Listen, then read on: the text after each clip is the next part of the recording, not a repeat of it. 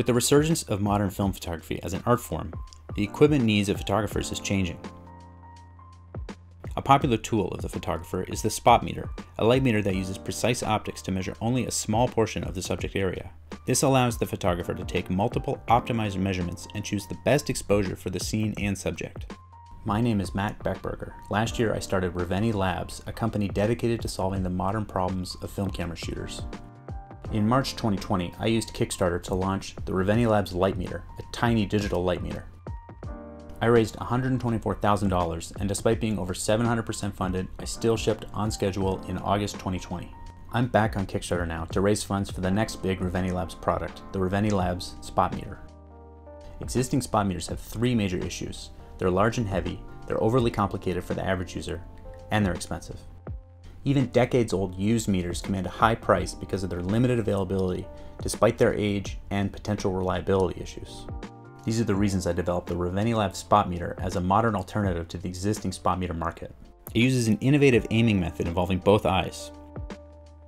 One eye receives the data while the other eye observes the scene, and the brain combines the images together to create a virtual overlay in your mind. Inside the meter is a bright OLED screen, which displays the aiming reticle as well as all the reading information. The lens in front of the screen allows your eye to read the screen while also focused on the scene and subject. Eliminating the pass-through viewfinder optics allows the Reveni Lab spot meter to be remarkably smaller and lighter than existing spot meter solutions without sacrificing ease of use. It's also compatible with glasses,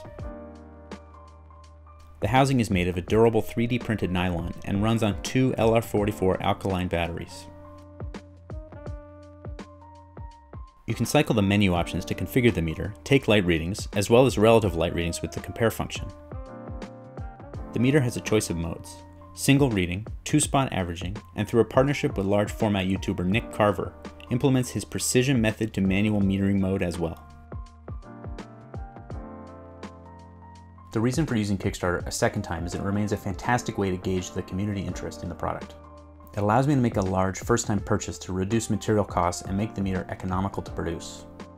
As the first Kickstarter helped fund the development of the second product, so shall this one help fund the next Reveni Labs idea.